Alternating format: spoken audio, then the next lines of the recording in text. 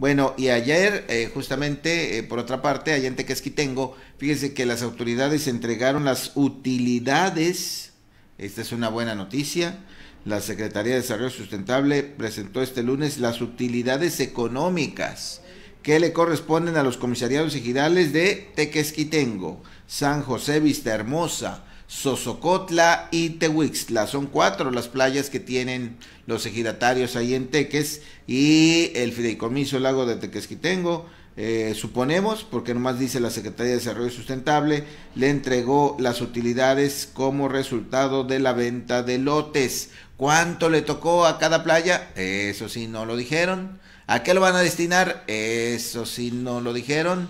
¿En cómo se lo entregaron? ¿En cheque o en una bolsa de dinero? Tampoco lo dijeron. Nomás se dijo que se entregaron las utilidades de la venta de lotes. Y ahí los tiene usted. Eh, aprovechamos para recordarle, sugerirle que visite las playas ejidales.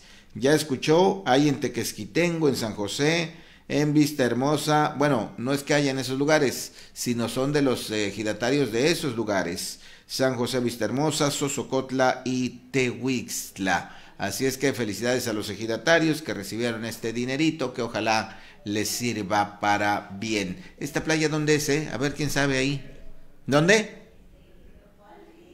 No dan, no dan, dicen.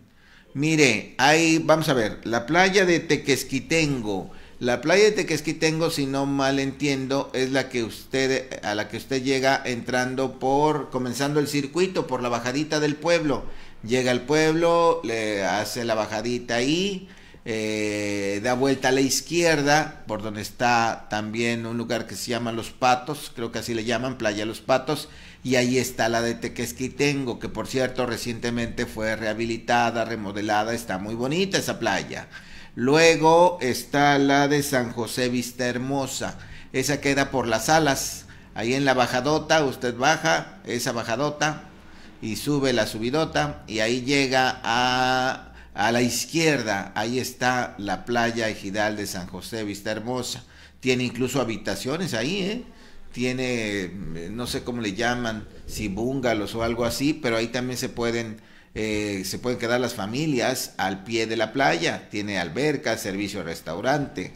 Luego la de Sosocotla, se regresa usted, se va al circuito, al circuito del lago, y por ahí de pronto hay un letrero que dice playa de Sosocotla. Creo que es esta.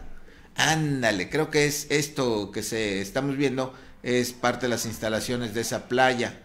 Ahí mero, Playa Sosocotla, que también fue remodelada recientemente, es playa y también tiene eh, lugar para consumir alimentos. Y finalmente la de Tehuixtla, la de Tehuixtla está ya casi saliendo del circuito eh, del otro lado, ya casi saliendo justamente rumbo a Tehuixtla.